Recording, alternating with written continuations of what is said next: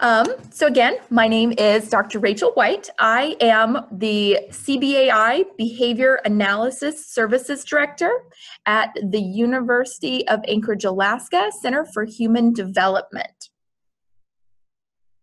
And today's topic is the first of four, and this is going to be covering functions of behavior. We have the next uh, three Saturdays at the same time, 2.30 to 4.30. We have upcoming um, webinars on a couple of different topics.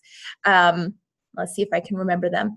Um, the next one is reinforcement, and then the week after that is communication, and after that is uh, visual supports hopefully you'll be able to join us for those and we'll go ahead and get started.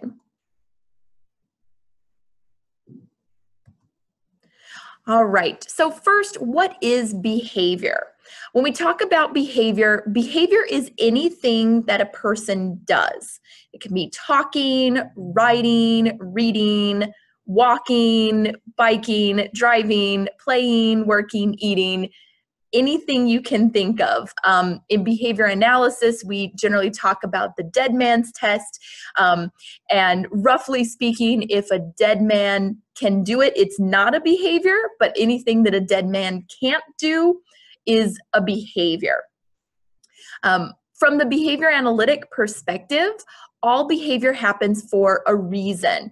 Um, we do things to get what we want out of uh, out of the situation. We go to work so that we can earn money, so that we can buy nice things like houses and cars and clothes, and spend um, our money on fun activities that we enjoy. Um, we might read uh, for the sake of just enjoying a good story, or we might read in order to be able to talk about what we read with other people, such as in a book club or reading the newspaper so that you are current, uh, up to date on current events. Um, when we talk about problem behaviors, we're generally talking about behaviors that are inappropriate or disruptive. And those generally fall into three main categories. Um, they occur too much, so this is a behavior that we don't want to occur at all, uh, such as aggression or throwing a tantrum or throwing toys, breaking things. Um, all of those could be examples of, and there are many more, of inappropriate behaviors or disruptive behaviors that occur too much. Um, other type would be occurring too little. So maybe it's a problem because the learner is not making enough eye contact in a social situation or um, is not sharing frequently enough or at all. Um, or in the case of toileting, they're not using the toilet at all, and therefore this is a, a problem or a disruptive behavior in uh, through the routine. Um, the third category would be behaviors that are appropriate given some situations, um, but are a problem because they occur in the wrong place or at the wrong time. So, changing clothes is a skill that we would like our learners to be independent with. However, we want them to do it behind closed doors in the privacy of their room when it is appropriate to um, change their clothes. Uh, laughing at inappropriate situations. So, laughter is fantastic, and we're very happy that our kids can um, express their enjoyment um, and their sense of humor. However, there are times when laughing would be inappropriate and would not be the response that we would want, and it would be disruptive. Um, potentially asking questions in the middle of a lecture. We want students to be able to ask questions, but if the teacher has um, is in the middle of presenting and there will be questions at the end, then we would expect that our learners are waiting until the end to ask their questions and not asking questions in the middle of a lecture or interrupting the teacher when they're giving the lesson. So is behavior a form of communication? Um, and I'm going to walk through the logic of this. So we know that all behavior happens for a reason. We don't do things unless we get something out of it. Um, problem behaviors, therefore, happen for a reason because even though they are inappropriate or disruptive, they are still a behavior, and all behavior happens for a reason. Um, problem behaviors are a way of the learner getting something that they want or need, uh, especially if we're talking about learners whose communication is not um, vocal and they're not able to communicate fluently with us. Um, problem behaviors can be a very effective way of getting something that they want. Therefore, problem behavior is a form of communication it's not an ideal form of communication. It's certainly not something that we want to continue, um, but we need to realize that inappropriate behavior is still trying to communicate something to us, and it's our job to figure out what the learner is trying to communicate. So, for example, a newborn infant um, doesn't do much except for cry. Um, and then it's up to the parents and caregivers to figure out what that cry means and what the child needs at that moment. Um, and having been a parent of a newborn at one point, um, it can be very hectic and stressful trying to figure out what the crying infant needs. And so you just go through everything that has worked in the past. Maybe they're hungry, maybe they're sleepy, maybe they want to play, maybe they need to be burped, maybe they need to be changed, um, maybe I'll run the vacuum cleaner. And you run through all of the um, possible things that you can think of that this learner um, in this case it, this, this child this infant might need to meet their needs because all they can do is cry. They can't tell you what they need. Um, and what we'd like to do what we're going to try and do with this um, with this webinar is give you some information on better ways to determine what those problem behaviors are trying to communicate, what your learner needs, and therefore you can be more successful at um, helping them achieve what they want with appropriate behaviors um, and not have to run around guessing what the problem is.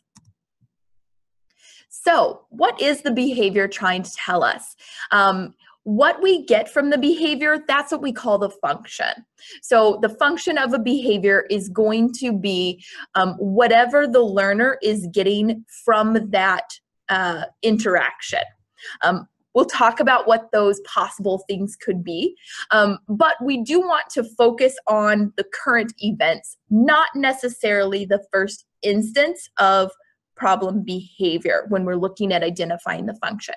So, for example, um, a child may be um, learning to use the restroom, may use the restroom in a public space where there are a lot of loud noises. The flushing is automatic, it surprises them, it startles them, it scares them, um, and then they have a negative reaction towards the sound of a flushing toilet in the future. Um, that may be important information to know and to understand when behaviors first occurred so that we can work through those. However, we'd want to look at what the current situation is. So if our target behavior is flushing the toilet, and currently the problem is that the learner is screaming and crying and not flushing the toilet, we might look and see that screaming and crying leads to them getting to leave the bathroom and not hear that. Um, and therefore, the function can be them getting out of a task. Um, so, our goal is looking at what the why is the behavior continuing to occur, not just um, the first time that it occurred. Um, and that's important to look at because things can occur, behaviors can occur, and they can result in a consequence and never occur again because that natural consequence um, wasn't what the learner wanted. It didn't work out for them. Um, I know when I was a kid, I tried to uh, tried to do a, a, bicycle stunt or something and take my hands off the handlebars and I flipped my bike and knocked out my front teeth and um, never tried that again. That um, was a consequence that, you know, in, in and of itself, I um, I never uh, wanted to try to do um, the uh, crazy bike tricks anymore. So the first instance doesn't necessarily mean that a behavior is going to uh, continue. If a behavior is continuing, then it's serving a function for that learner. It's happening for some reason, they're getting something out of it, something good, or they're avoiding something that they uh, don't want. So, why do we want to know what the function is? Um, two reasons basically. Uh, we want to know what the learner is getting out of the situation so that we can teach a more appropriate replacement behavior um, and give them a way to get what they want more appropriately. Um, the second reason we want to know what the function is is so that we don't accidentally reinforce and continue to reward the inappropriate behavior. Um, if I if a learner is engaging in some disruptive behavior in a classroom because they don't want to do math and the consequence is that the teacher sends the learner out into the hall and they miss math class the teacher may be thinking that they are reprimanding and disciplining the learner because they're not in the classroom, they're missing out. But the learner may look at it as, hey, I got what I wanted out of this. This is even better. So we need to know the function so that we don't accidentally continue to support those inappropriate behaviors. All right, so what are the common functions of behavior? Um, one easy way to think of it is everybody eats. So the common functions of behavior start with the letters E, A, T, and S. E stands for escape. Um, this can be getting out of a particular task or having to do some work. Um, it could be leaving a particular environment. Um, it could also be avoiding something that's coming up next or avoiding certain people or certain situations. Um, so, although we say escape, it can also include um, avoiding. Um, the difference being is that escape is the situation is already occurring and they want um, to stop that situation.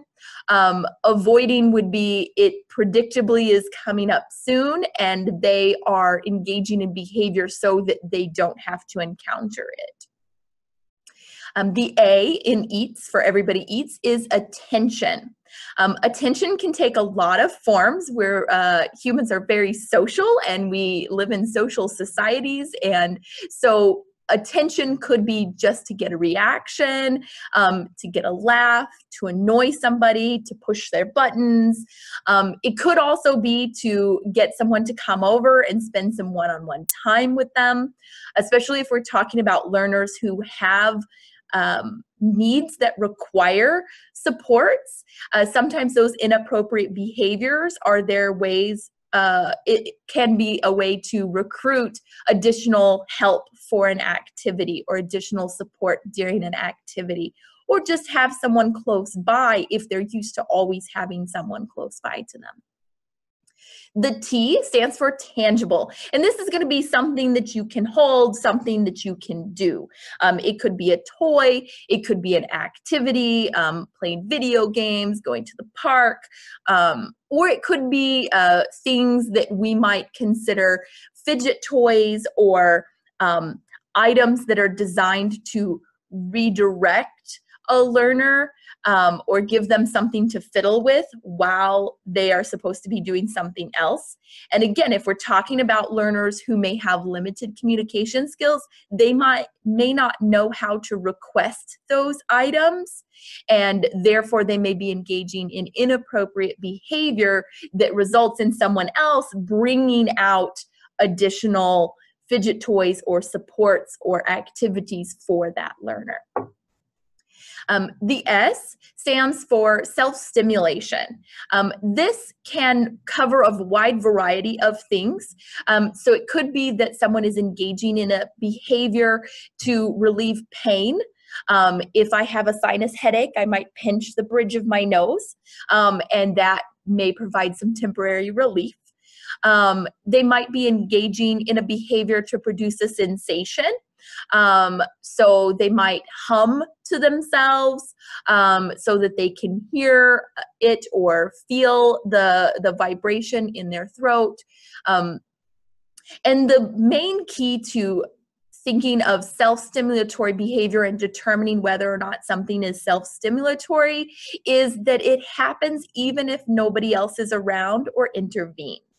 Um, so, one common thought is that some behaviors based upon the way that they look, like hand flapping or finger flicking, could be um, what is often labeled as sensory, could be meeting a sensory need.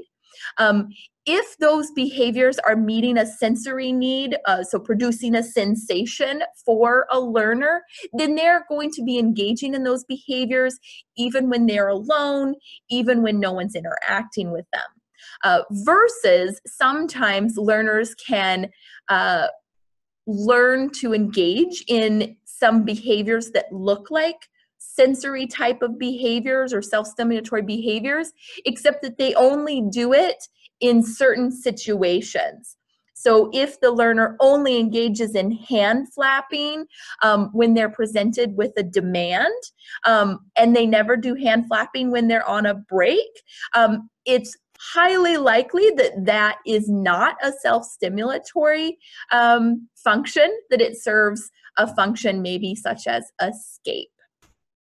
So again, the common functions of behavior, EATS, everybody eats, escape, attention, tangible, and self-stimulation. So how do we identify the functions of behavior? Um, oftentimes we take what is called ABC data um, it's done that way so we can remember what each letter stands for. Um, the A stands for antecedent or trigger. So this is what the specific incident was that started the behavior, that set off the inappropriate behavior. Um, it could be something that is in the external environment. So there's a loud noise, or somebody's asked them to do something, or a new person comes into the room. Um, or it could be something that only that learner experiences, such as being hungry or tired um, or having a headache. Uh, we don't want to disregard the learner's internal antecedents. Um, and certainly, if I suddenly got a headache, I would react differently um, than if I didn't have a headache. So, we do want to make sure that we are trying to take into account um, something that could be internal to the learner, although we also want to make sure we're looking at what's going on in the learner's environment um, and not just um, assuming that everything is happening inside the learner's body. The B stands for behavior. So this is how did the individual act? What was the specific inappropriate behavior that we are trying to determine the function for? Um, we want to describe it with specific actions and words. So instead of saying, my kid threw a tantrum, I could say, she threw herself down on the ground, she cried, there were tears, she kicked on the floor while she was on the ground that would give you a better picture as to what this kind of a tantrum looked like for this learner in this situation. Um, not everybody's tantrums look the same. And we want to make sure that when we're describing behavior, we're describing exactly what occurred and not um, not putting too big of a label on it. Same kind of a thing might occur when we say, um, when a teacher reports a student is being disrespectful. Well, what precisely are they doing that is um, being labeled as disrespectful? Are they um, responding with an inappropriate tone of voice? Are they name calling? Are they not making eye contact? I mean, what is it in particular that the teacher is finding disrespectful? That way, we can look at those behaviors and identify what that um, what the appropriate behaviors should be instead. Um, the C in ABC data stands for consequence. And this is what happens immediately after the behavior. Um, so I gave an instruction, my toddler threw herself on the ground, and the immediate consequence was I said, looks like somebody needs a nap. And I took her to take a nap. Um, you want to look at the consequence from the learner's perspective because our goal is to figure out what they're getting out of the situation. So, from um, given that example, um, in my example from the parent perspective, I might think, oh, okay, she's tired. I need to give her a nap. That way, she's more likely to follow instructions in the future. And that may absolutely be um, correct. She may be tired, and we do want to consider those things. From the learner's perspective, it could be that my toddler has decided, mommy tells me to do something I don't want to do. I scream and cry, and then I don't have to do it. So we do want to look at things from the learner's perspective. Um, and see what they're getting out of it. What did they receive or what was removed from their environment? So that is our ABC data, antecedent, behavior, and consequence. So we're going to walk through some examples. So those of you that can type into chat, get your typing fingers ready, and I'm going to um, give you a chance to type in some of these answers. So here's our first example. Johnny is seven years old and engages in verbal outbursts during class. When Johnny's teacher tells Johnny what to work on or how to do something, Johnny yells out the opposite of what the teacher said. So that's our behavior there. Um, for example, uh, Johnny's teacher said, time to sit down. Johnny would yell out, time to stand up. Johnny's verbal outbursts disrupt the classroom by drawing his peers' attention and making them laugh. Now, I think this is only going to reveal one at a time, so let's see. Oh, nope, it doesn't. All right, we'll walk through this one and then I'll pause it on the next one. Um, so the antecedent would be that the teacher is giving an instruction. The behavior in this case would be yelling, yelling out the opposite of what the teacher said. And the consequence would be that he gets his peers' attention, which again is a form of attention from our everybody eats. Um, all right, so let's look at another example and I won't click to the next slide so that you guys can actually give it a try. So example number two, Jack is four years old and engages in bolting or running away from his parents when they are in public. He will also open the door to the house and run outside if no one is watching him. He does not respond to instructions to stop or come back. His parents chase him until they physically catch him, and then they hold his hand to take him back to the appropriate area. So, those of you that can type, what do you think the antecedent is in this situation?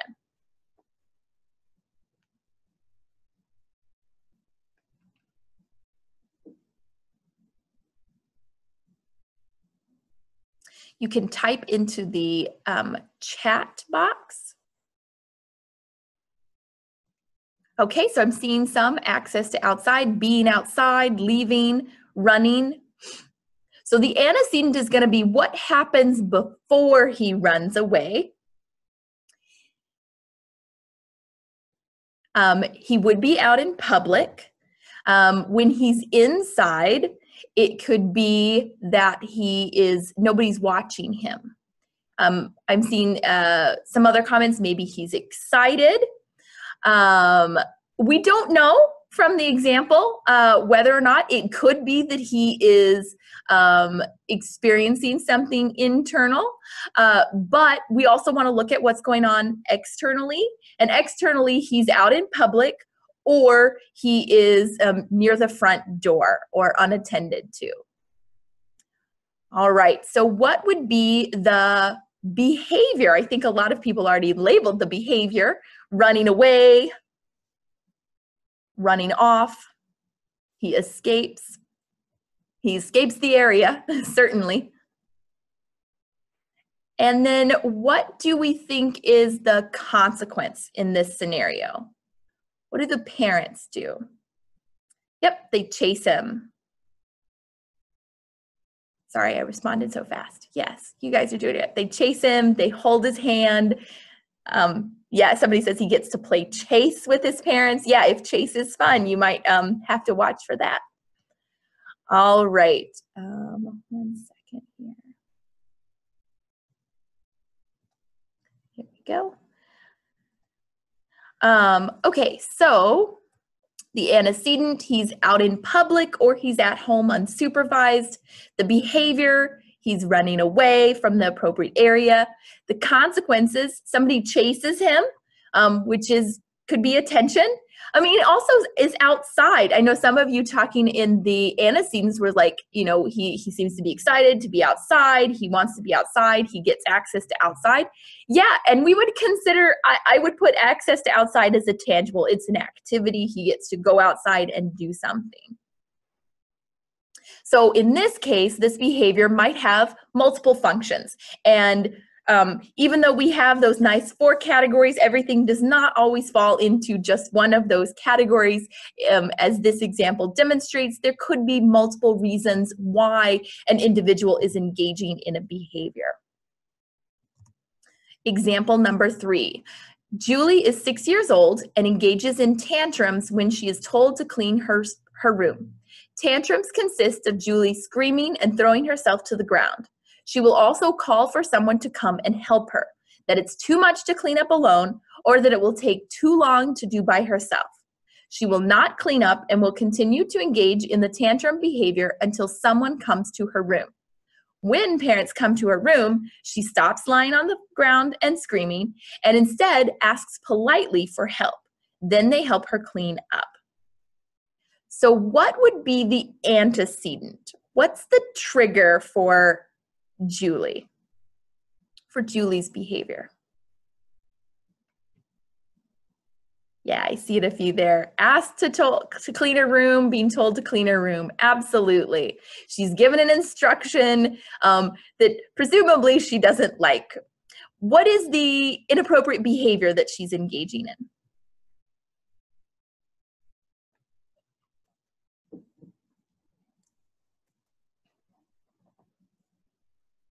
Yes, tantrum. And we labeled that as screaming and throwing herself to the ground. Mm-hmm.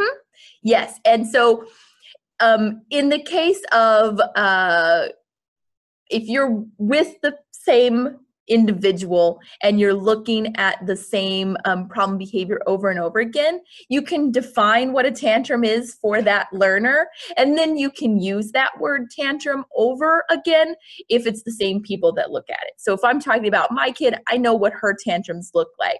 So when I, if I want to um, take data on my own child, I can write tantrum. But I want to make sure that I can describe that to somebody else and sometimes the level or intensity of a tantrum can vary. So you definitely want to note, um, you know, if some tantrum reaches a different kind of a level than another one. All right, and what is the consequence?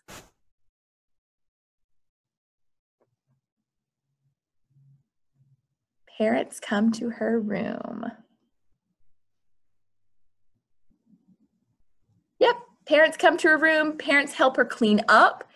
And so, from her perspective, she is getting some attention and she is getting help so she's not having to do all of the work. So, escape. So yeah, antecedent, she's told to clean her room. Behaviors, she's screaming, she's throwing herself to the floor. She's definitely not cleaning up, so non-compliance. Um, and the consequence, somebody comes to her room, so she's getting some attention, and they help her clean up, so she's escaping at least parts of that demand or instruction. So for everybody eats, this would be an E and an A, escape and attention. All right, I think I have one more example. Yep, sure do. All right. Jenny is five years old and engages. Um, oh, I think I changed this. It says aggression, but I don't think it's aggression anymore. Um, Jenny is five years old and engages in, um, we're going to say, non compliance and protest behavior when brushing her teeth. Given the instruction to brush your teeth, Jenny will initially comply. However, Jenny is learning to clean her teeth and needs prompting to get all her teeth thoroughly. When verbally or visually prompted to get particular areas, Jenny engages in screaming that she already did it. Um, parents will tell her to do it better next time, but will not make her brush correctly at the time. So, what is our antecedent here?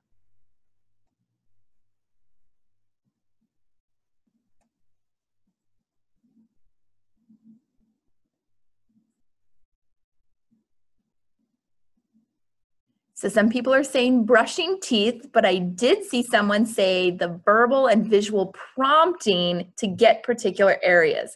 So, yeah, in this case, we do want to be specific. She'll initially start brushing her teeth, but it's when she's given a reminder or correction as to, oh, you missed a spot, don't forget to get the back teeth, um, that she engages in. Again, it says aggression there at the top, but um, that she engages in her problem behavior. So, what is that problem behavior there?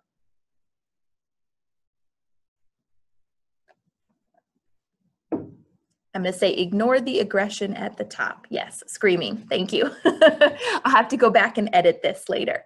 Um, and refusal. Yeah, she's not she's not engaging in the appropriate behavior of getting those areas. So in this case, we do want to be particular. Um, she's being um, asked to get particular areas or given some sort of a correction, receiving some sort of corrective feedback.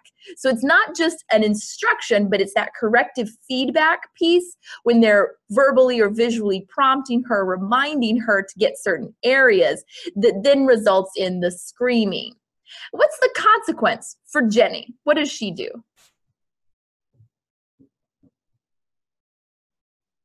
Yep, she gets out of it. She doesn't have to do it. Um, she doesn't have to get those particular areas.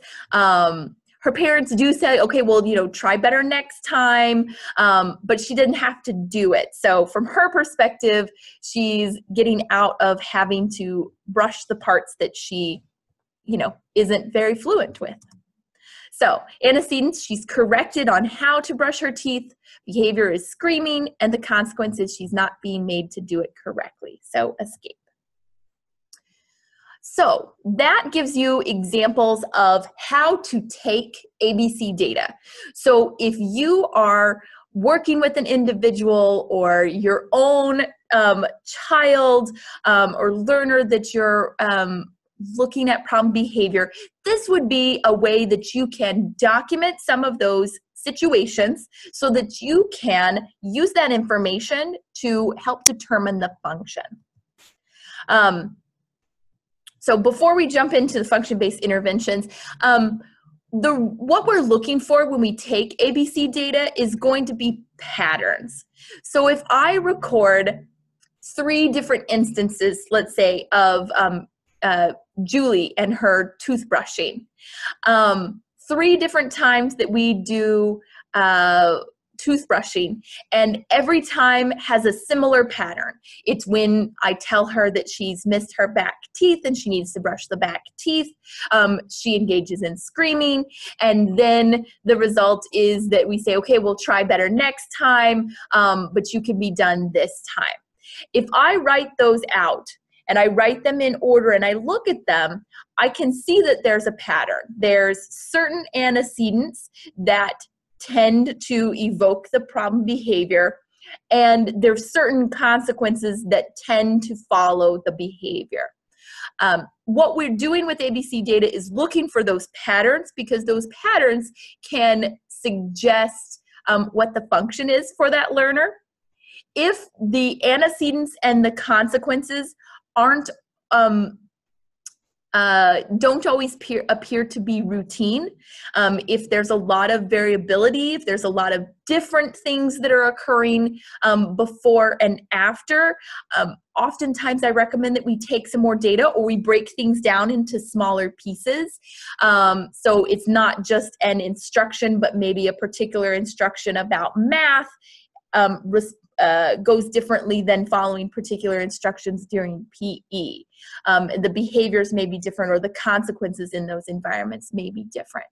Um, however, what you're doing is looking for patterns. And so if you can take some ABC data, um, then you can look and say, well, what's the child getting out of this? What's my learner getting out of this situation? And that's going to help you to put in a function-based intervention. So there are three steps to dealing with inappropriate behavior once you have identified that function. And they are, um, they match with the A, B, and the C. We want to address all three of those areas. Um, so as far as the antecedent, we're going to walk through each of these in detail. Um, but as far as the antecedent goes, we're going to look at arranging the environment. So if there are certain activities or certain situations that we know um, tend to evoke this problem behavior, then we want to arrange the environment to decrease the likelihood of using that problem behavior. And remember, the learner is using that problem behavior to get something. Um, so we want to arrange the environment so they don't need to engage in that behavior to get what they're looking for decrease the motivation for engaging in that problem behavior to get the consequence. Um, the behavior itself, we want to teach an alternative behavior. What is a more appropriate way for this learner to get what they want? Um, that is going to uh, meet the learner's needs, but is going to be acceptable in the situation.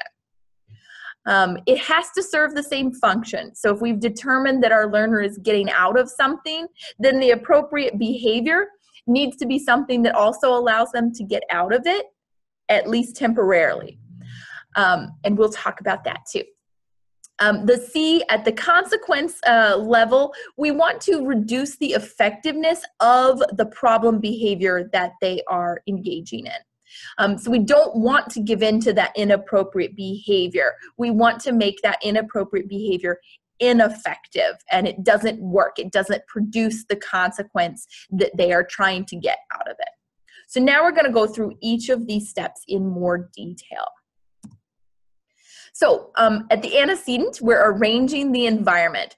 So the first thing is that you've, if you've identified the function, then potentially you can reduce the likelihood that your learner is going to engage in a problem behavior to get something if that something is already available in the environment.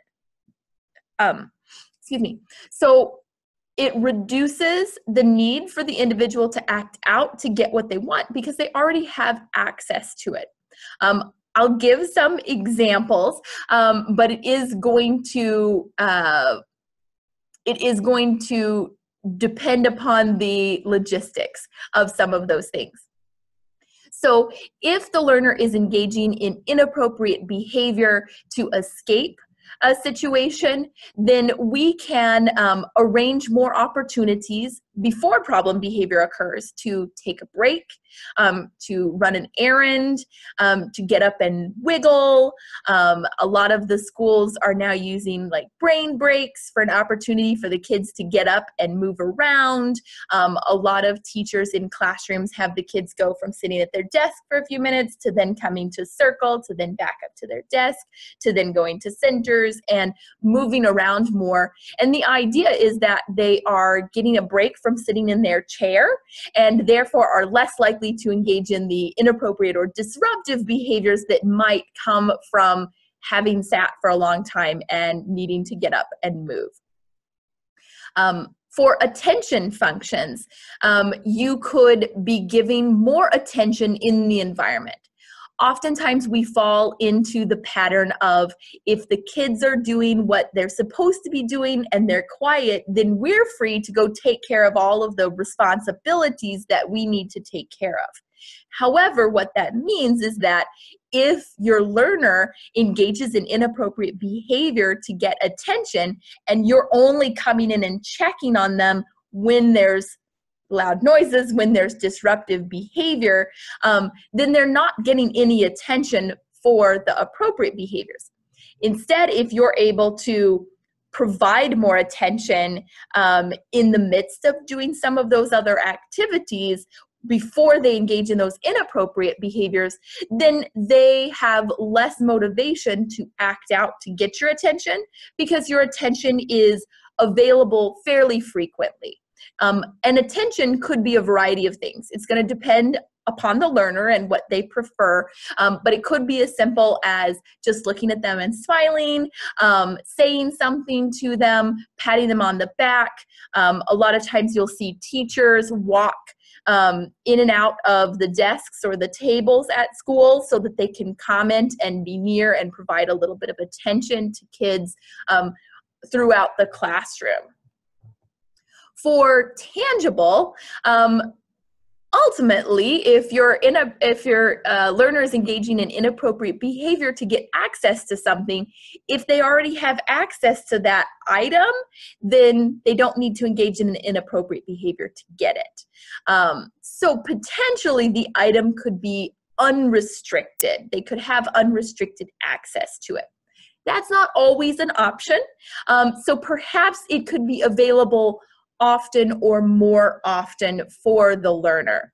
Um, so if I had a learner who was um, throwing a fit in the checkout line of the grocery store because they wanted candy, I could reduce the likelihood that that problem behavior occurs by just having candy when we're in the grocery store. Um, they don't need to throw a fit to get it because they already have candy. Now, candy be an example of something that we can't just have um, unlimited access to. So we do need to uh, we may not be able to give completely unrestricted access, um, but we might be able to provide access more often so that it is not um, such a rare thing that it only can occur after problem behavior. Now, you might notice that I did not include self-stimulatory behaviors in this. Um, Self-stimulatory behaviors are more complex. Um, you want to make sure that you have a professional helping you with those because those behaviors are things that occur um, even when someone is not around. So arranging the environment can be more challenging. However, the idea would be the same that if you can make the sensation or the stimulation that they are seeking more freely available in their environment, then they wouldn't need to engage in the inappropriate behavior to get it. Um, they could engage in um, it, it's already available. Um, the best example being that if a learner engages in some self-stimulatory behavior like hand flapping um, when they're bored because there's nothing else to play with, if there was an environment that had a lot of things that they knew how to play with, um, then they would be more likely to engage in those preferred activities um, as opposed to hand flapping. Now, that being said, the, the reality is that um, many learners who engage in stereotypic behaviors like hand flapping um, don't know how to interact or appropriately engage with the materials and toys that are in their environment. So just having them in their environment may not be sufficient. Another way to arrange the environment um, and again reduce the likelihood that problem behavior occurs is to provide pre-corrects or transition warnings. Um, these may be technical terms for just uh, what you may already be doing, which is telling the learner what you need them to do before it occurs.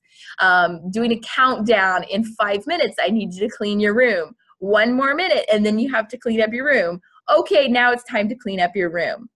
Um, the transition warning is just going to count down the time until um, a change occurs. A pre-correct is going to tell specifically what's expected before the learner makes an error.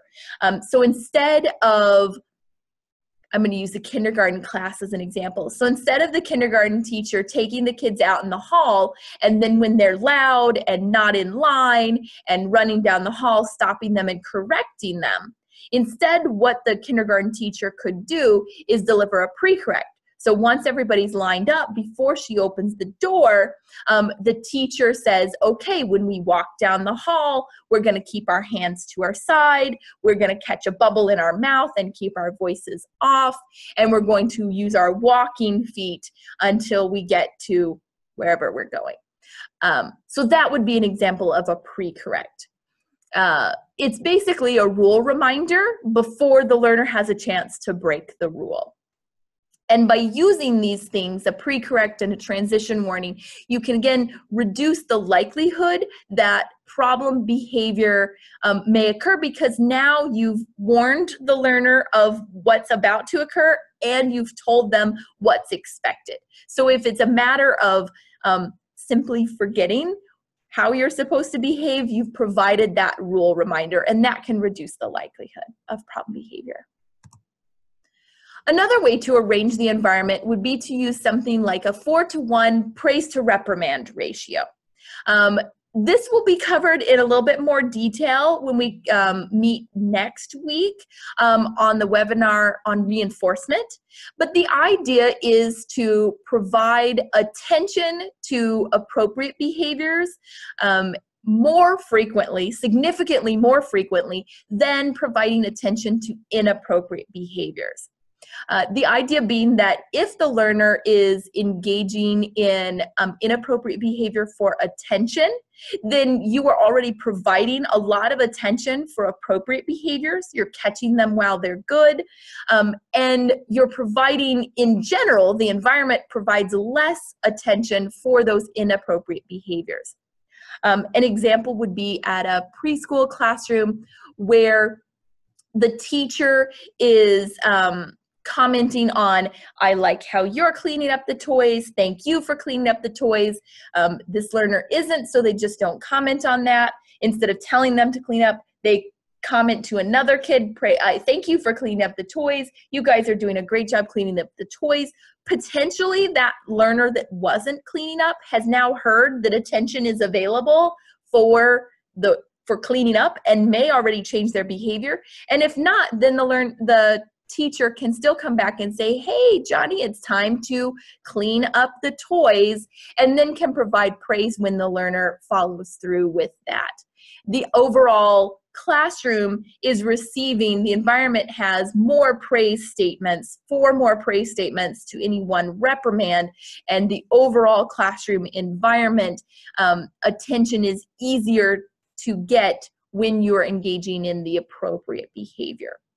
Um, and like I said, we'll go into a little bit more detail on uh, on reinforcement and praise and the praise to reprimand ratio um, at uh, the next webinar. And another way to arrange the environment might be visual schedules. Um, so along the lines of transition warnings and pre-corrects, if our learner knows and understands and can see uh, what is expected and what's coming up next, that can reduce the likelihood of inappropriate behavior occurring in particular situations. Um, we will go over uh, visual schedules in more detail when we do our webinar on visual supports, which is May 12th. Um, but in general, this could be pictures, icons, or words that show the order of the activities. Um, this can be more easily understood than just saying what's coming up next. Also, having predictable routines, visual schedules can help make those routines more predictable, both for the learner and within the environment. Um, not all of us do well with surprises. Um, I know I certainly uh, don't like when I'm called in uh, to a last minute meeting um, and that throws off the rest of my plans for the day. Um, so, having those predictable routines using a visual schedule can help make some of those routines more predictable and less likely to result in inappropriate behavior. Another piece to that that I just personally really like um, is using timers to signal the end of activities instead of just the verbal um, instruction that it's time to be done or it's time to clean up. Um, I found, especially for learners um, on the autism spectrum, that um, they are less likely to argue with timers. Um, the timer goes off and it's just a matter of fact versus if um, mom's telling you it's time to move on we're done with that now then um, some learners feel like they have more wiggle room and they can argue with that or they can engage in more of those inappropriate protest behaviors uh, so again, uh, visual schedules or providing some visual supports, which we'll go into more detail on May 12th, um, but those can also uh, help arrange the environment to reduce the likelihood of problem behavior. So now let's talk about the behavior. Um, when we address the behavior aspect, we want to teach an alternative behavior that works for the learner. So there's some key features that we need to be aware of. Um, we need to select one or more, um, as many as possible, honestly, um, more appropriate replacement behaviors. If we have more ways for the learner to get uh, their needs met, more appropriate ways than inappropriate ways, um, then they are more likely to engage in those appropriate behaviors. Um, they have more skills in their repertoire that they can use. If I only know one way to ask for something, um, then I may forget it in a in a more stressful time or when I need it immediately. But if I have lots of different ways to ask for it, then I may be more likely to select one of those than the inappropriate behavior. It does need to serve the same function as the inappropriate behavior. The learner still needs to get the function or what they want out of it. When we start um, using a, a function-based intervention and teaching this alternative behavior, we're not looking at those long-term goals yet. Ideally, sure, our goal may be that when I give an instruction, the learner follows it right away. However, right now, when I give an instruction, the learner, um, you know, throws a toy. Instead, let's teach the learner a more appropriate way to get what they want. And then over time, we can work on them following instructions without always getting their way. But when we start, in order to reduce the likelihood of problem behavior, we have to give them a better way to get what they want. So they're already getting what they want on their terms. Now we're going to teach them how to get what they want, but on our terms before we work on getting what we want on our terms. We got to take it in steps.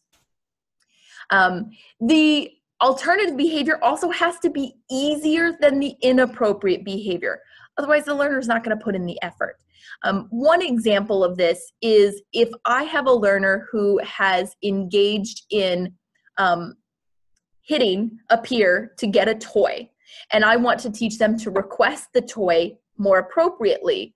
Um, if my inappropriate behavior was hitting, but my appropriate behavior is go to the table, select an icon, put it on the sentence strip, pull the sentence strip off, come back to the peer, hand it to the peer, point to the icons, say it, and then wait. They're not going to do that, at least not initially. They are going to hit because that works better for them and it's easier.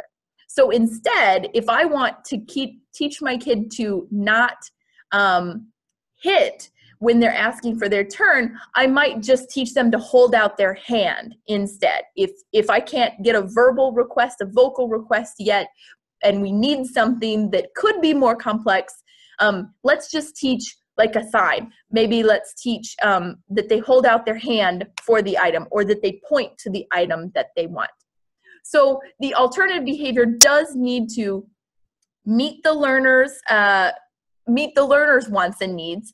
Um, it needs to be easier than the inappropriate behavior. And if we can think of multiple examples, so pointing or sticking out their hand or saying a word, um, those all might be better options. And we could teach all of those instead of hitting for the toy. Um, so some examples, an inappropriate behavior. Oh, hey, look, this is the one I just gave. um, an inappropriate behavior, hitting to get a toy, um, so access to tangible. Um, a replacement behavior could be pointing at the toy as a request. An inappropriate behavior might be throwing the book to get uh, to to avoid having to do homework or to escape it for the moment. Um, a replacement behavior might be asking for a break or asking for help. Um, the inappropriate behavior might be crying to get mom's attention. A replacement behavior might be asking for mom or tapping mom on the shoulder. So, when we teach an alternative replacement behavior, it's best to start with errorless teaching. We want to start by providing the most help and gradually provide less help as their behavior improves and they start to use that behavior more reliably.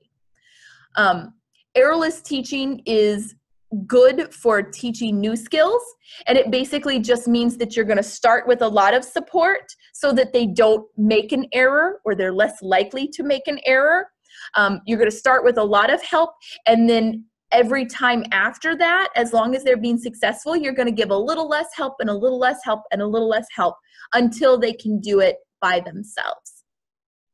Um, the flip side of that, in case you're wondering, would be trial and error, where you give them a chance to try it, and then if they make a mistake, then you go back and provide a little bit of support, and then if they still can't get it, you provide more support, and that can result in more inappropriate behavior because they're failing. Um, they're they're not getting it correct. They're not getting what they want, and that can produce more frustration and um, result in more inappropriate behavior. So, errorless teaching is the way to go when you're teaching a new skill. Um, start with more help and gradually fade out how much help or support you're providing. It's also important to work on the new appropriate behavior outside of those occurrences of inappropriate behavior. I don't want to accidentally teach my kid that after they hit somebody, then they hold out their hand. Um, and you could accidentally do that if the only time you practice holding out your hand for a turn is when they've already hit somebody. So instead, we want to set up opportunities outside of that where we might just practice sticking out the hand and putting in something that they want. And then sticking out the hand and putting in something that they want. And then holding something and prompting them to stick out their hand and then putting it in. So we want to practice it more times outside of the inappropriate behavior to set up some opportunities for them to be successful and practice that skill. Um, then only working on it when inappropriate behavior occurs. So we don't accidentally create a chain of inappropriate behavior then appropriate behavior. Um, and we will go over more um, detail for teaching alternative behaviors when we do the webinar or communication. And the reason i say that is because most often the most socially appropriate way to get your needs met and to get the needs of our learners met is for them to ask. Um, that it may not always be honored, and that's obviously something that we need to work on. But if someone asks for what they want and we can understand what they're asking for, then we can at least problem solve if it's not available. If I don't know why my kid is throwing a fit, um, it's harder for me to help them. But if they can ask for what they need, then I can help either provide that or I can help provide solutions that also can get that need met. So we do cover this a lot more in communication. Oftentimes, the most appropriate um, alternative behavior is going to be some form of functional communication. Teach them to ask for a break. Teach them to ask for the Skittles. Teach them to ask for the attention. Um, teach them for, to ask for the video game basically give them some way to ask for what they want or need. And the communication webinar will be on May 5th. All right, so consequences. Um, when we look at the consequence levels, this is definitely going to be the more challenging um, aspect. And this is the part that I think a lot of people struggle with is what do I do when problem behavior occurs. Um, it's great if we can avoid it, and honestly, that's where uh, that's where we focus our attention when we are putting in a behavior plan. Because if we can reduce the likelihood that the problem behavior even needs to occur in the first place, and we've taught a lot of appropriate alternative ways for the learner to get their needs met, we may, knock on wood, never have to encounter the problem behavior because we've we've addressed the situation where they don't need to use that behavior anymore however it never really goes that smoothly you still in um, you still uh, inevitably end up having problem behavior occur at least sometimes um, while you're working on reducing the motivation and teaching the appropriate um, replacement behavior. So the inappropriate behavior is still going to occur sometimes because it's a habit for the learner. If nothing else, this is what's worked for them in the past. Why wouldn't they continue to do it now? Um, that's why what we need to do at the consequence level is to show them that that way doesn't work anymore. Um, so the biggest piece to this is that you can't give in. You can't give them the function for what they previously were getting that in for that inappropriate behavior. Um, it's going to look different depending upon the function. And it would be, it, it some of these are more challenging. Um, if any of you guys have heard of an extinction burst, basically if you um, if previously every time the kid cried they got candy and then now we're no longer giving candy anymore when the kid cries an extinction burst is the it's going to get worse before it gets better part of it. They're going to try harder. Um, the example i like to use is um, a coke machine. You put the money in the coke machine you push the button you get your coke um, one day you go by, you put your money in the Coke machine, you push the button, and there's no Coke. No one just walks away at that point. you push the button again. You might push the button harder. You might hit the coin release. You might bang on the front of it. You might, I mean, obviously, people have done it because they have the little stickers don't shake the machine because someone sat there and shook the machine, probably trying to get the Coke when it didn't come out when they put their money in. That's an extinction burst. It's trying harder um, because this used to work. Why isn't it working now?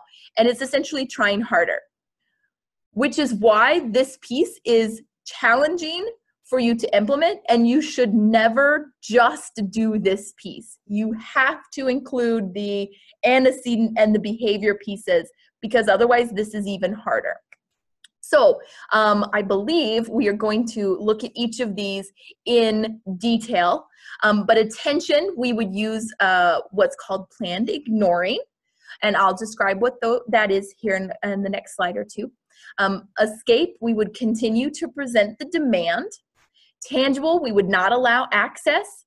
And just to guys let you just to let you guys know, um, for self-stimulatory behavior, it would involve blocking.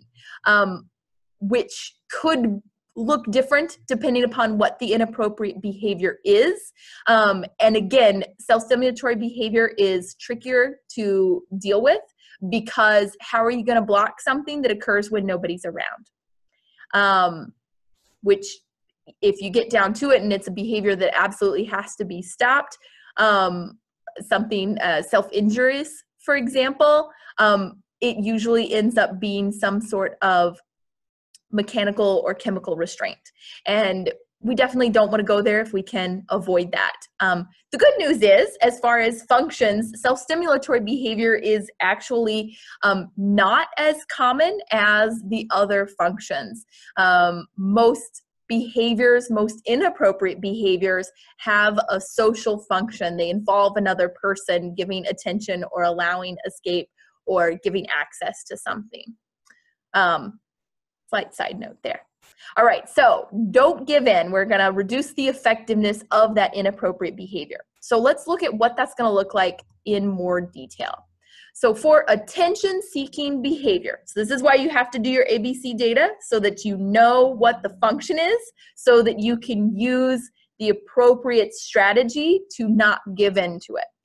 Um, for attention seeking behavior, the appropriate strategy to not it in is called planned ignoring. Now, there's a few different ways that you can break up planned ignoring. Um, one is going to be ignoring the learner and the behavior. So if my learner starts screaming right in front of me, I might abruptly turn around and ignore them, ignore their behavior, and um, not respond at all until they're engaging in appropriate behavior. Um, so you wouldn't talk to them, you wouldn't look at them, you would physically move away and orient yourself away. Um, that would be ignoring the learner and the behavior. That's not always possible, and it doesn't always make sense. So there are some variations of that. Um, you could ignore the learner, but not the behavior. And what that means is that you're not going to deliver eye contact or talk to them, but you're physically going to redirect um, or or um, in some other way keep the learner safe.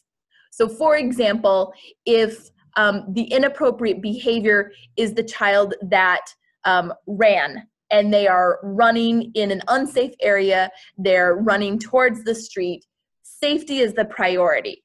But instead of um, yelling and screaming and, and hollering at them to come back, or once you get them, talking to them and reprimanding them about how that wasn't safe, instead, what you do if they were running away for attention, just so we're clear, only for attention, um, you would physically catch them and keep them safe, and then use as little physical contact as possible to make sure that they stay safe and return to the area. But you wouldn't look at them, you wouldn't talk to them, you wouldn't provide any additional attention, only the amount needed to keep them physically safe.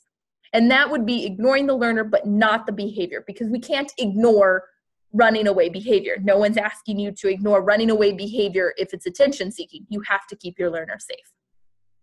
Um, the third variation is ignore the behavior, but not the learner. And this would be continuing with your continuing with the situation as if the inappropriate behavior was not occurring um, and as if the learner was appropriately um, engaging. So, for example, if the learner is um, using a, uh, we're going to say, using a whiny tone of voice that previously has resulted in getting a lot more attention, um, so uh, maybe they're sort of like back talking a little bit, and usually or historically that has resulted in more attention because it really irritates the person that they're talking to. Um, instead of commenting on or reprimanding or reacting to that whiny or inappropriate tone, um, you would continue um, with whatever interaction you were having. So if I was the teacher and previously this um, student had been making um, uh, sort of that like mimicky tone of voice um, back to me when I was talking and they were doing it for attention, then I might continue with my um, lesson and not comment on it, not react to that inappropriate behavior. And potentially, even if I asked them a direct question and they answered, but they answered it with um, an inappropriate tone or they did that sort of snarky tone, um, I might still, you know, comment on the correctness of the answer and just disregard the inappropriate tone. So that would be ignoring that particular behavior, but not the learner. You're still interacting with the learner, you're still continuing throughout your day, but you're not attending to that inappropriate behavior that is um, trying to get attention or reaction. Um, given your situation and the behavior, um, one of these may be uh, more appropriate than the other. Um, so when people say planned ignoring, it definitely doesn't mean that you um, that you let the kid do whatever they want. Um, and it definitely doesn't mean that you uh, risk the safety of the kid. Um, it's you can't always, and you don't always, and you shouldn't always ignore the learner and the behavior. There are other ways to planfully ignore the inappropriate aspect or give as little attention as possible while still keeping the situation safe. Um, for escape maintained behavior, so this is someone trying to get out of having to do a task, um, the way to make it ineffective is to continue to present the demand. So again, there's a few different variations for this, and this one I would say more often than not progresses with um, size and age of learner. So if my two-year-old um, throws a fit and say that they don't want to go to bed, I can pick my two year old up and I can physically take them to bed. Um, I can provide physical guidance um, to, to get them to perform the appropriate task. I could take their hand, I can make them put the toy in the toy box. Um, physical guidance is only appropriate if the learner is not physically resistant to that. So we're not getting into a wrestling match here. Um, we're not fighting with our learner in order to physically make them do something.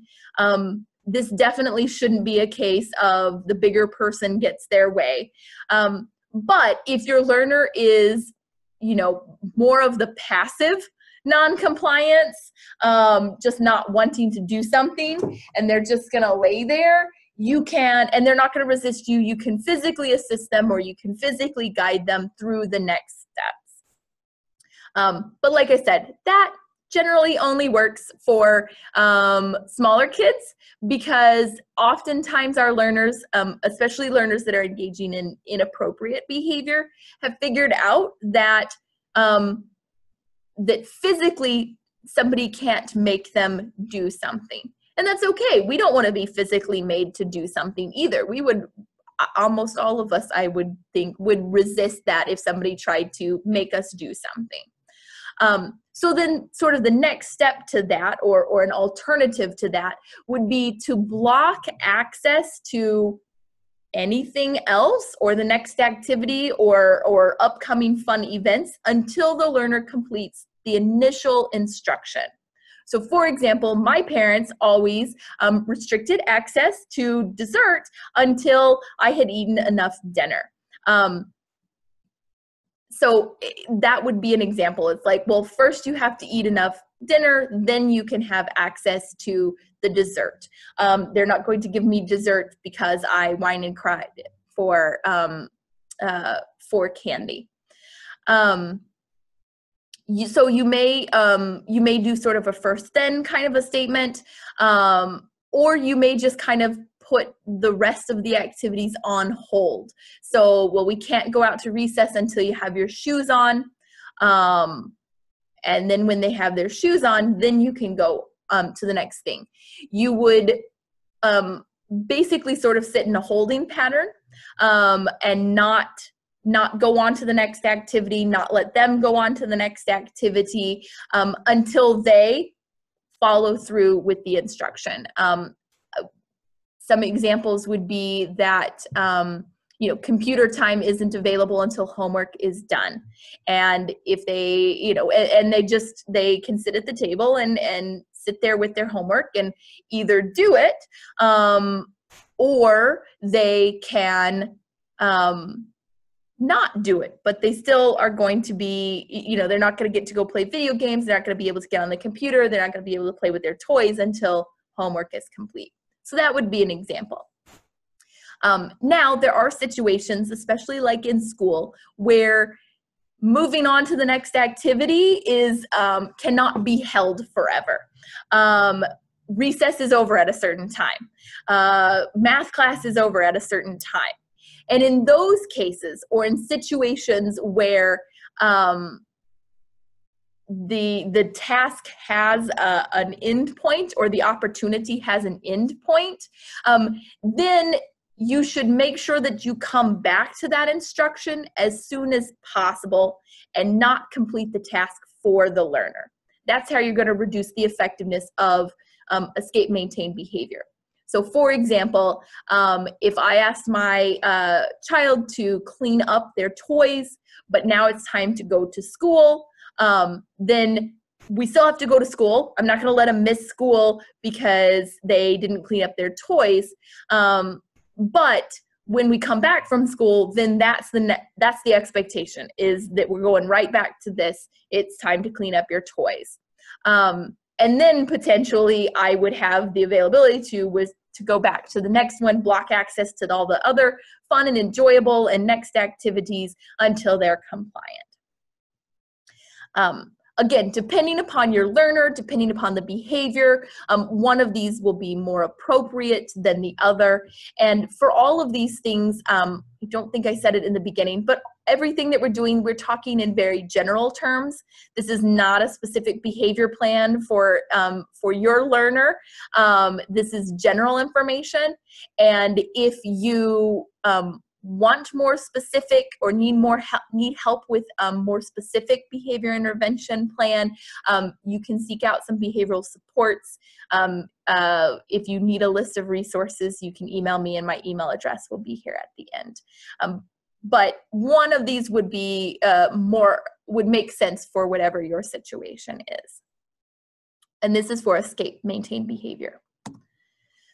Um Another way to reduce the effectiveness of inappropriate behavior would be time out.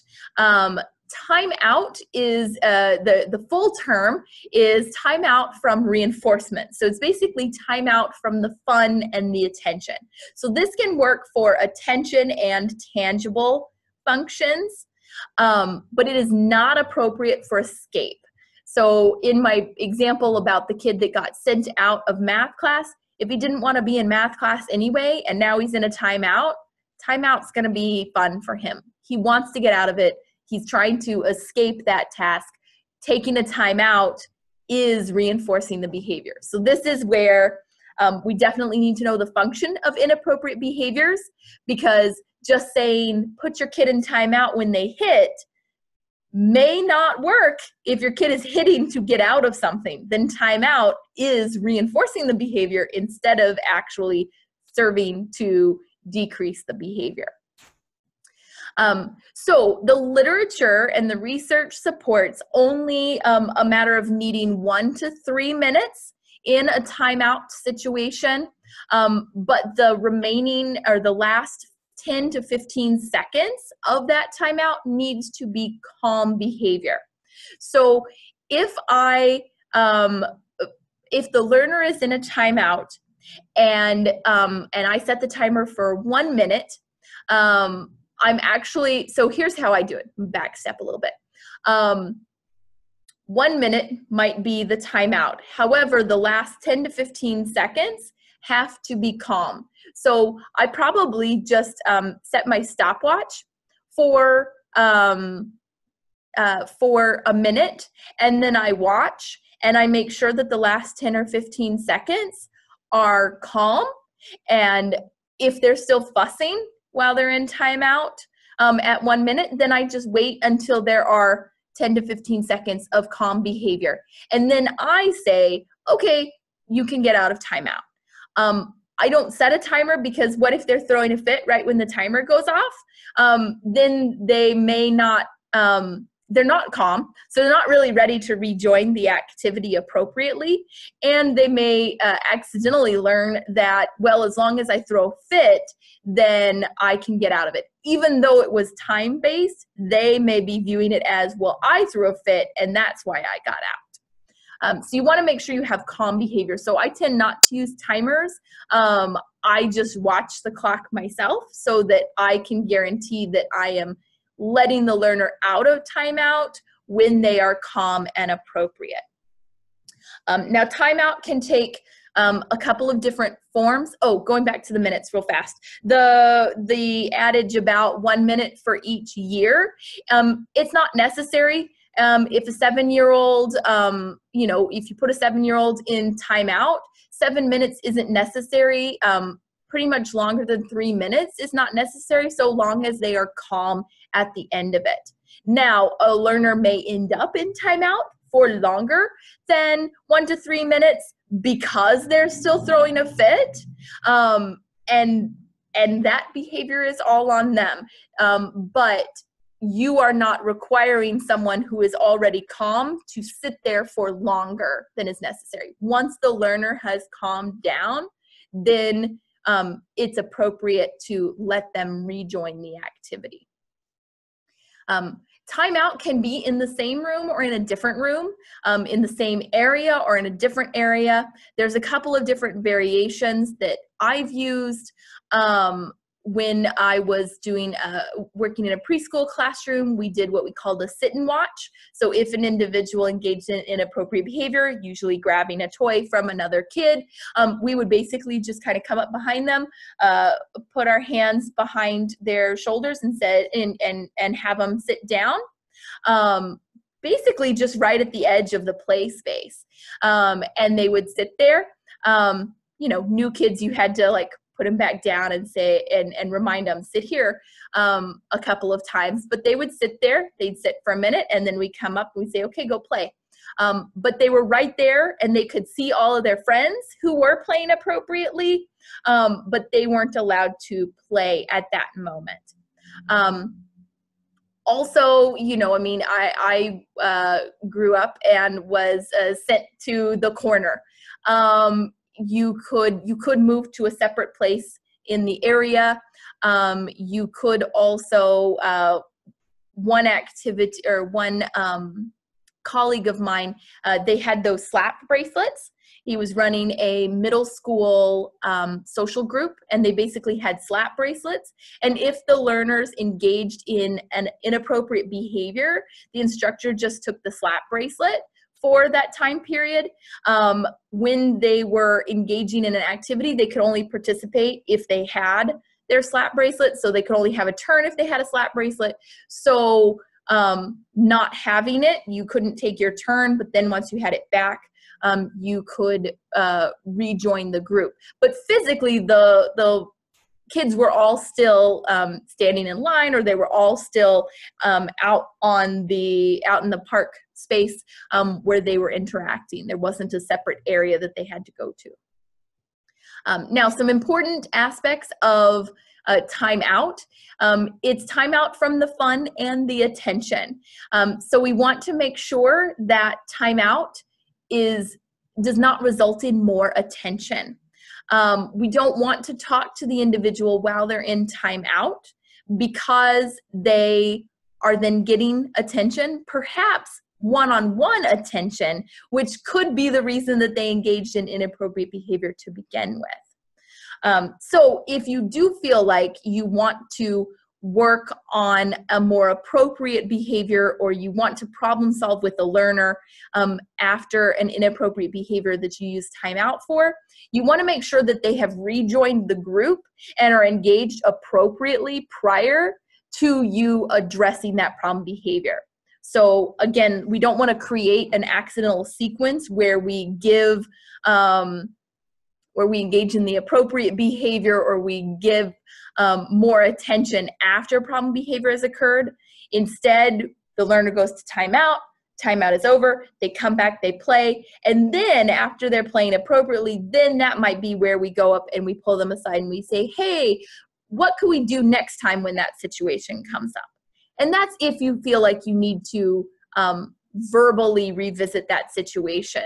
Uh, behaviorally speaking, if time in is reinforcing, so if they are enjoying the fun and the attention in their environment, then time out for an inappropriate behavior will be effective, even if you never say or talk about what that is. Just that natural contingency um, of oh, every time I hit, I have to go sit out and I don't get to play. That can be enough. And you may not have to even verbally describe it to the learner. But if you want to, make sure that you're doing it after they're appropriate so that you're not, I'm in timeout. Oh, but now I get one on one attention in timeout with the teacher or with mom and dad or with my parent. All right. So let's review and we're going to go over our examples um, with some example behavior plans, and then we'll have time for questions. So, first, you need to identify the function of the behavior. Um, the four main functions are um, everybody eats, escape, attention, tangible, and self stimulatory. Um, when you take your ABC data, what's the antecedent, what's the behavior, what's the consequence, and you look for those patterns, you can look to identify what is the common result, what is the common function of the behavior that the learner is getting, and therefore what they are um, getting out of their inappropriate behavior. So once we identify that function of the behavior, we need to implement a function-based intervention and it's going to have a step that addresses the A, the B, and the C. So, A, we're going to arrange the environment to reduce the motivation, reduce the likelihood that the learner needs to act out to get something because that something is already um, available more often in their environment.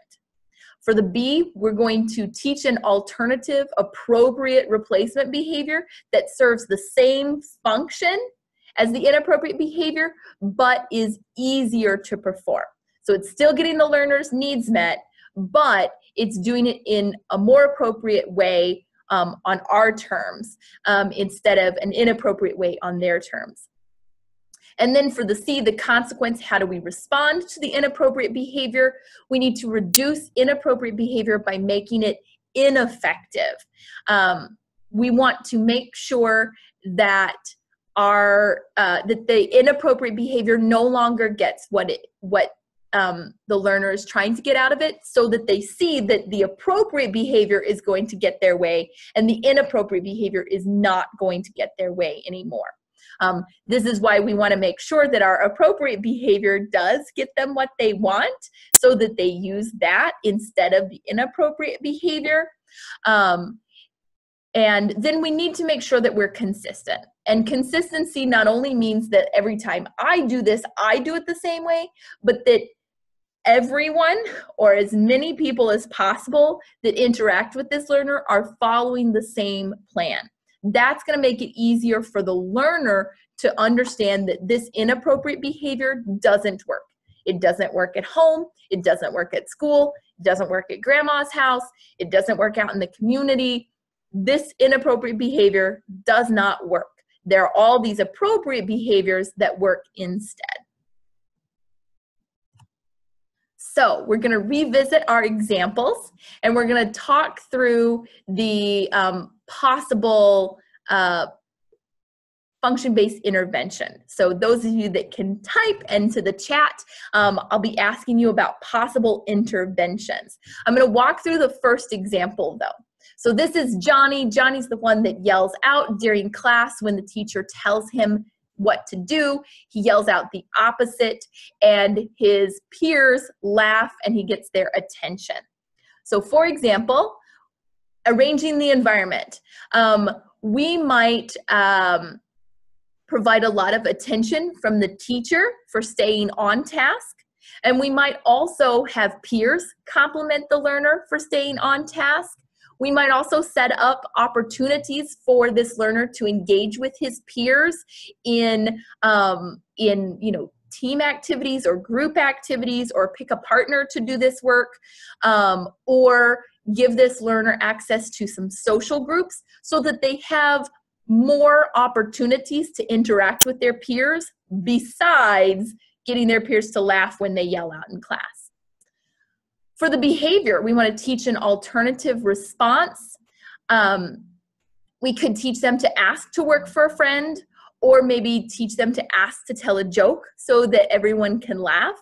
Um, again, right now, we're not concerned with whether or not this is the right time for telling a joke, but telling a joke, um, asking to tell a joke and being allowed by the teacher to tell a joke is more appropriate than blurting out the opposite of what the teacher is saying and disrupting the whole class. So again, we're we're switching getting the laughter of your peers to something under our terms where the teacher can say, and before we do this independent task, you know, you want to do a joke. Um, our consequence, we want to reduce the effectiveness of the inappropriate behavior. In this case, because it's attention seeking, we would want to use planned ignoring.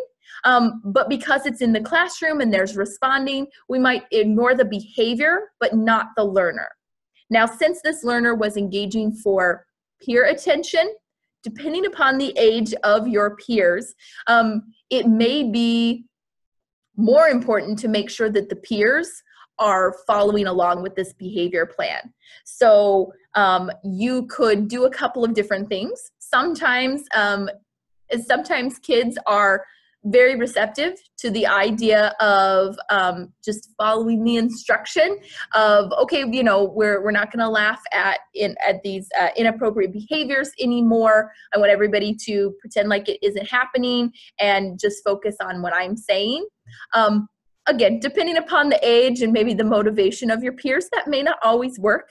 Um, but potentially the teacher in this classroom could create a reward system for learners who aren't laughing. So, learners who um, continue, peers that continue to attend to the teacher in spite of inappropriate behavior. There might be points or um, reinforcers or praise available for those individuals.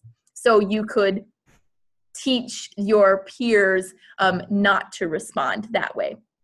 And so, therefore, the learner um, is still being interacted with within the classroom, but nobody is laughing at the yelling out the opposite anymore.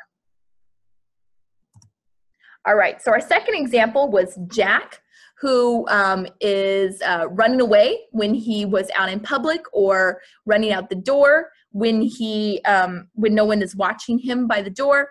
Um, and they physically chase him to catch him, and then they take him back and we had talked about how the function was um, potentially attention and tangible access.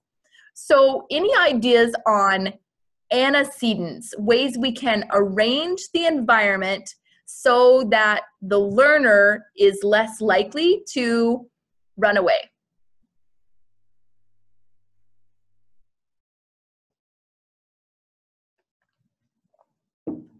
Great, I'm seeing some comments um, uh, putting a deadbolt on the door. Yeah, so they just physically can't get out. Um, giving some more access to the outside so that they get to go outside in a safe opportunity more often, and outside is not that motivating. Um, distraction, so maybe redirecting them or keeping them engaged, um, especially for that attention piece. If you are engaged with them and they're already receiving attention, then they're less likely to um, run away to get it. Um, what about uh, replacement behavior? What do you think might be uh, some good replacement behaviors for this learner?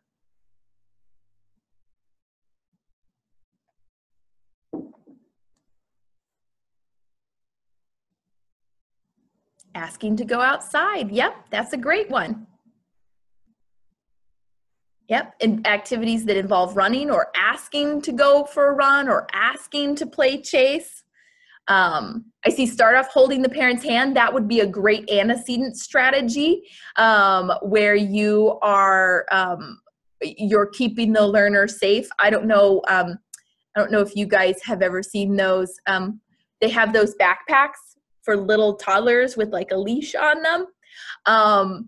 You know, if your toddler is likely to run away and you're going to be in a spot, then maybe that's a good way to keep them safe and and reduce the likelihood.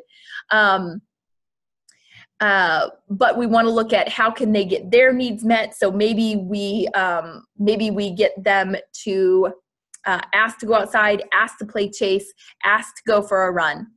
Um, and then I am going to give you guys another example of the extinction because the extinction piece is a little harder. Um, so we talked about antecedent um, strategies. Um, we could give uh, some of the ones that I came up with pre-corrects. So reminding before you go outside in public with parents, reminding the kid to hold their hand, um, giving them outdoor play in safe fenced areas so that they can run around um, and they have access to that, but in an okay, um, safe environment Replacement behaviors, asking to go outside, asking to play chase, um, maybe just asking for attention from the parent in general. And then the consequence in this case, because it's attention seeking, um, it, it involves that intention seeking piece. We could use planned ignoring, but we want to make sure that we're using the one that does not ignore the behavior. So we're still going to catch the child and keep them safe. Um, if they were to run away despite all of our planning and and teaching those alternative responses um, we're going to keep them safe but we are not going to be um, yelling and screaming as at them to stop because we already know this learner doesn't um, doesn't listen to that instruction. We're going to provide as little attention as possible so we might hold their hand, but we're not going to make a big deal out of it. Um, and we're going to continue back to what we were doing before. But we're going to make sure that that learner stays safe. All right, example three um, Julie throwing tantrums when she's told to clean up. Um, parents come into the room, then she asks nicely. So we look at uh, where potentially that behavior has been shaped up, where, you know, well, I'll ask, but only after I throw a fit. Um, and then they help her clean up. So we had determined that this could be some attention and some escape. What would be some antecedent strategies for attention and escape that we could provide to Julie so that she's less likely to engage in problem behavior for um, for having to uh, clean up her room.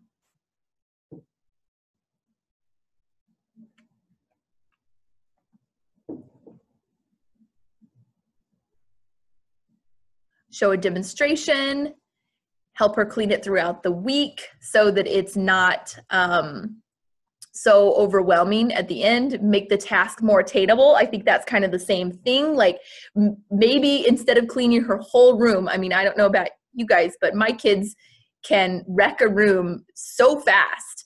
Um, maybe we just work is focus on one piece. Let's clean up the blocks. Let's clean up the barbies. Let's clean up the play-doh.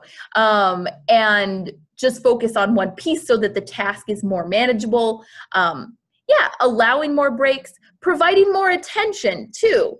Um, if we can provide more attention throughout the day, you know, perhaps um, she's less likely to engage in um, inappropriate behavior for attention at the end. Um, replacement behavior, what would be an, a more appropriate way for her to get attention or um, get a break or get help.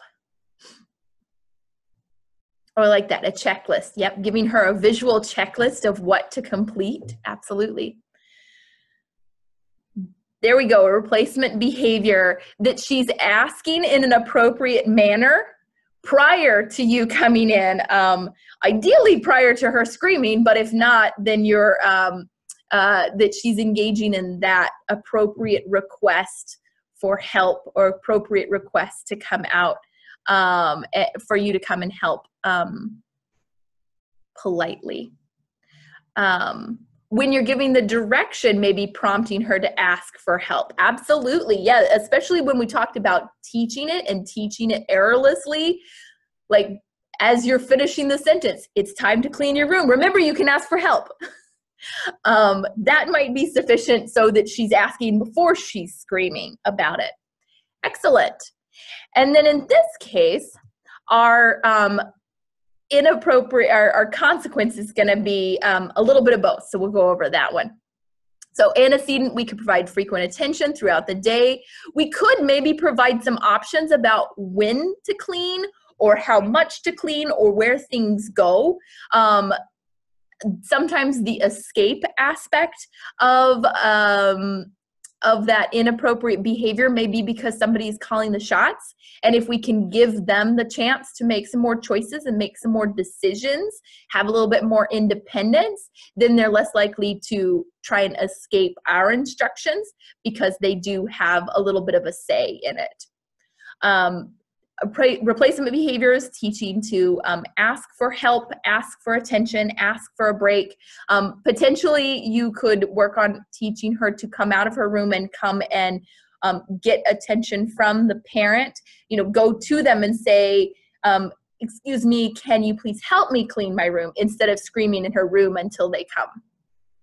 And then the consequence for the attention seeking behavior in this case, this would be an okay time to ignore the child and the behavior.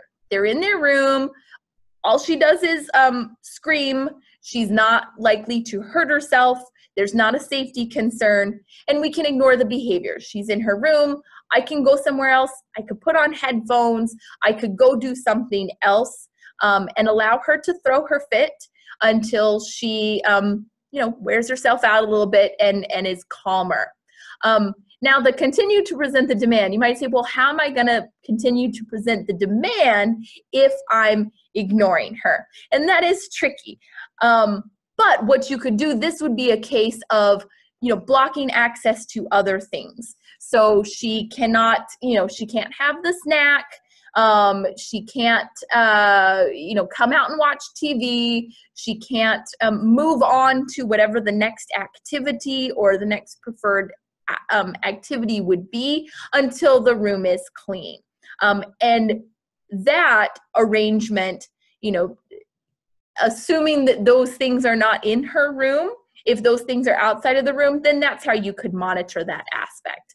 Um, I would say that if she has access to things that she's more likely to play with in the room instead of cleaning, then um, then you would probably not be uh, able to implement that in the same way. But again, these are going to vary depending upon the learner and the situation. All right, last example. Um, Jenny engages in screaming, not aggression, when brushing her teeth. Um, uh, gener- uh, initially she'll comply with the instruction. However when she is prompted um, or given that corrective feedback that she missed the spot then she engages in screaming that she already did it and um, she does that to escape because then she doesn't have to do those hard areas. So what would be some antecedents? And i think somebody had one earlier. What would be some antecedent uh, strategies that you could use to help um, her uh, be more successful and reduce the likelihood of problem behavior during brushing teeth. Um, so yes, show her how to give a demonstration, um, give a visual that shows all of the areas to hit, um, maybe a checklist, um, yeah, of using video modeling. Um, brush with a kid's video of brushing, yeah, so they can brush along. Um, making it fun. So that's talking rewards and teaching the appropriate. We're jumping a little bit ahead to the reinforcement uh, category. Um, antecedent strategies we want to look at if she's engaging in escape from um, the correction, then we're looking at ways that she can um, basically escape correction or take breaks or um, be more independent in this case um, be more independent prior to this particular situation. So maybe since she's five years old five years old is generally when kids are trying to do a lot of stuff by themselves. They think they can do everything by themselves. Um, i'm sure there are a lot of uh, um, a lot of kids that do that at a lot of ages. Um, but showing her, praising her, acknowledging the things that she can do independently, um, and therefore escaping any sort of corrective um, feedback. Um, another one, turning her teeth blue. Yeah, those mouthwashes that turn colors so that then you have to brush them off, but then you can see with, whether you got a spot or not. Excellent. Um, alternative behaviors, replacement behaviors for um, escaping brushing teeth.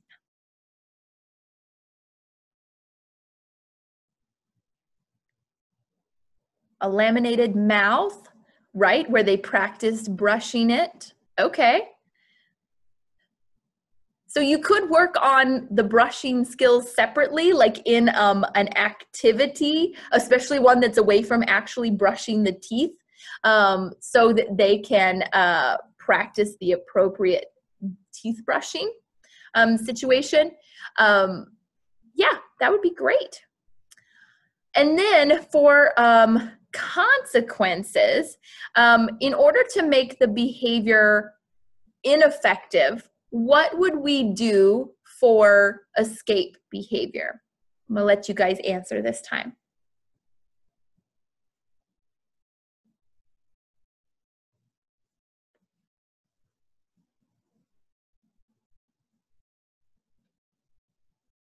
Yep, got to do it right. Absolutely. Um, you don't move on until the next activity. Um, she is they said they're currently using verbal or visual prompting. Um, if she's receptive you might be able to say like here let me show you and help her physically to do it. Um, she could be receptive to that. Um, if not then again sort of the, the we, we don't move on.